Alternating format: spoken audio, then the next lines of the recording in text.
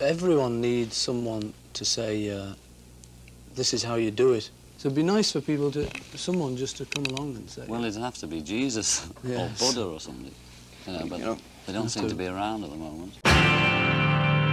The Beatles have essentially been the most popular human beings, the most popular things, on the planet Earth for the past half century.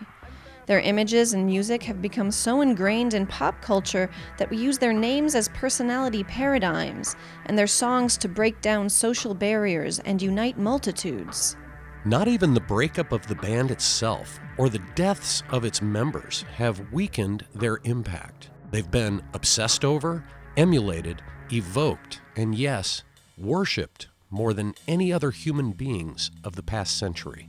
Isn't it odd, in fact, downright bizarre, that a handful of 20 something singer songwriters in the mid part of the last century were elevated to the status of gods during their own lifetimes, and that this deification continued as they stopped producing, aged, and died?